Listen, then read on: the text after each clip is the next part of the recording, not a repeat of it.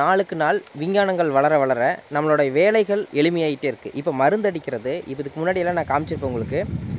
ஒரு டேங்க்கு பத்து லிட்டர் பிடிக்கும். பத்து டேங்க் அடிக்கணும் நூறு சென்ட் காட்டுக்கு அடிக்கிறதுக்கு ஒரு ஏக்கராவுக்கு ஆனால் இப்போ நான் காமிச்ச ட்ரோன் பார்த்தீங்கன்னா பத்து லிட்டர் மருந்தில் ஒரு ஏக்கர் ஃபுல்லாகவே அடிக்குது.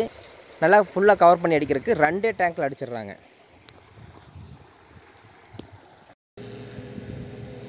எத்தனை லிட்டர் கெப்பாசிட்டிங்க டேங்க் பத்து லிட்டர் தண்ணி எவ்வளோதான்? மேப் முடிஞ்சிச்சு. மேப் முடிஞ்சிச்சு?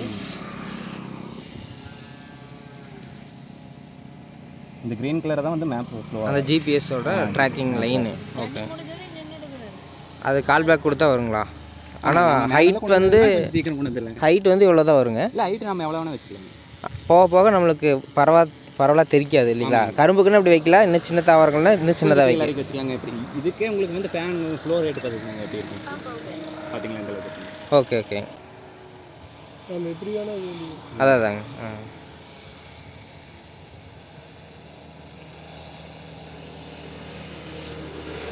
ஸ்டார்ட் பண்ண இடத்துக்கு அதுவே வந்துருங்க. ஆமாங்க. நாம் செலக்ட் பண்ணுறதாங்க எல்லாமே. அதான் மேப் மூலமாக என்னென்ன செலக்ட் பண்ணுறதோ அதெல்லாம் நம்ம செலக்ட் பண்ணுறோம் எவ்வளோ ஹைட் பாருங்க ஹைட்டெல்லாம் ரொம்ப ஹைட் ரெண்டு கிலோமீட்டர் மூணு கிலோமீட்டர்லாம் போங்களா ஆ போகணும் ஓகே. உங்களுக்கு இதுக்கு மேலே உங்களுக்கு எதுவுமே ஹைட் தேவையில்லைங்களா? தென்னை மரத்துக்கு அடிக்கிறதா மட்டும்தான் இதுக்கு மேலே உங்களுக்கு ஹைட் வேணும். அவ்வளோ தண்ணி நல்லா வருது கீழே.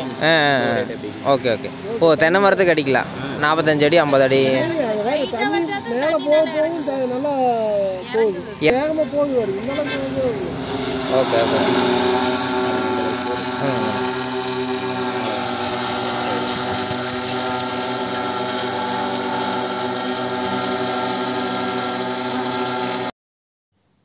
இதில் மொத்தம் ஆறு காத்தாடி இருக்குங்க ட்ரோன் பறக்கறதுக்காக.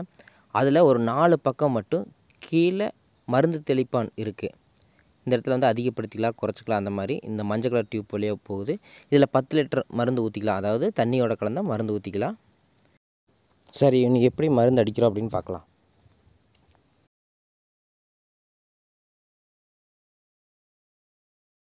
இப்போ ட்ரையல் பர்பஸ்க்காக பால் கேனில் தண்ணி கொண்டு வந்து ஊற்றுறாரு தண்ணி எந்த அளவுக்கு தெளிக்குது அப்படின்னு பார்க்கலாம்.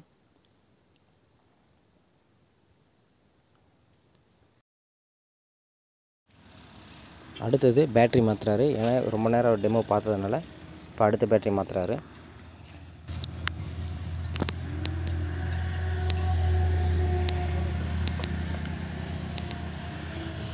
அப்படியே ப்ளக் பண்ணிக்கிறதானுங்க நல்லா போட்டு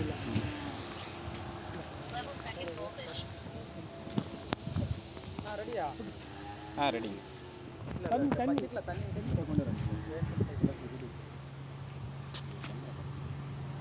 டூ உடனே பாஸ்பரஸ் பாஸ் பண்ணுறேன் ஆ சரி.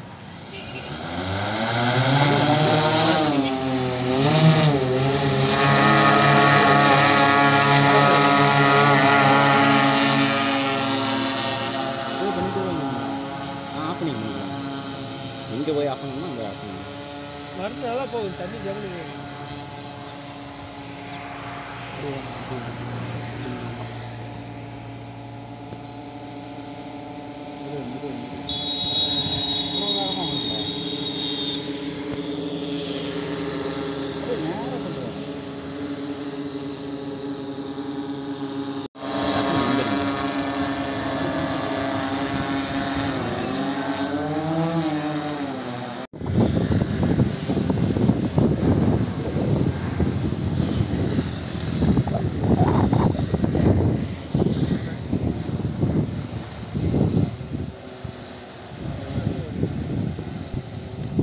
காற்றும் ஓரளவு வேகமாக தான் வீசிகிட்ருக்கு ஆனால் அந்த காற்றுலையும் கொஞ்சம் தாக்கு பிடிச்சி நேரத்தை பறந்துட்டுருக்கு இதெல்லாம் வீடியோ கேமரா வீடியோ ட்ரோன்ஸ் எல்லாம் பார்த்திங்கன்னா இந்த மாதிரி இந்த காற்றுல நிற்காது இது ஒரு பத்து லிட்டர் தண்ணி தூக்கிட்டு போகிற வலுவான மோட்டர் இருக்கிறதுனால கொஞ்சம் நிதானமாக நின்று தாக்கு பிடிக்குது.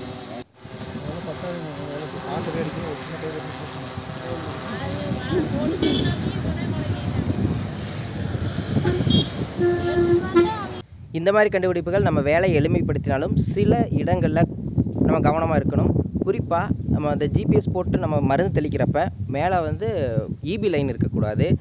அடுத்து பலமாக காற்று வீசுச்சுன்னா அது கீழே விழுந்தும் ஏன்னா இன்வெஸ்ட்மெண்ட் அதிகம் அஞ்சு லட்ச ரூபா. இந்த மாதிரி சில பிரச்சனைகள் இருக்குது சரி வேற ஒரு வீடியோவில் பார்க்குறேன். பாய்